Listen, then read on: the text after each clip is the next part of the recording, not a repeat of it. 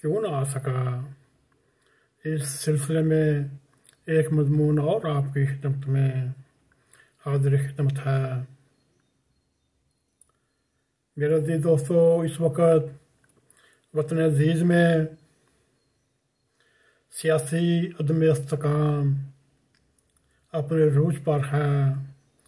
یوں عمران خان نے رائے عامہ کو اداروں کے خلاف بھٹکا بھٹکا رکھا ہے۔ اس وقت انیس سو اکہتر کے حالات کے مطابق سو فیص سو فیصد اسی طرح ملتے ہیں۔ اور پہلے دن سے ہمیں یقین تھا۔ عمران خان کو الیکشن سے زیادہ نارکی افراتفری اور ہیجان پیدا کرنے میں زیادہ دلچسپی لیتے لیتے ہیں۔ اور ہمارا یہ تجزیہ ہے، عمران خان کبھی بھی گرفتاری سے نہیں ڈرا۔ اور اس وقت جو وہ ڈرامہ کھیل رہے ہیں، سو فیصد عمران خان، افراتفری گامہ خیری کو جلا دینے کے لیے رچار رکھا ہے۔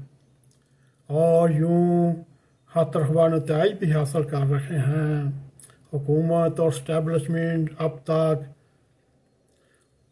ان کے پیچھے اور ان کی جتنی بھی تدابیر الٹی پڑ چکی ہیں۔ میرے دوستو، ہر عمل، ہر آنے والا لمحہ، اگرچہ عمران خان کو اب جو الیکشن سے دور لے کر جا رہا ہے مگر عمران خان کا ایک ایک لفظ، ایک ایک عمل ملک کی سیاست پر اس کو حاوی بنا رہا ہے۔ لانگ مارچ ہوں اسمبلیوں سے استعفے ہوں اسمبلیاں توڑنا ہو۔ بظاہر حکومت اور اسٹیبلشمنٹ عمران خان کے ایک دیو یا فریت کو قابو میں لانے میں ناکام ہو چکی ہے۔ میرے عزیز دوستو، یہ ہمارا اس پروگرام جو پاکستان میں سیاسی عدم استحکام کے سلسلے میں پروگرام تھا۔ میرے عزیز دوستو، اگر آپ کو ہمارا یہ پروگرام پسند آئے، اس کو لائک بھی کریں، اس کو شیئر بھی کریں، کمنٹ سیکشن میں جا کر اپنا زیادہ خیال کرتے ہوئے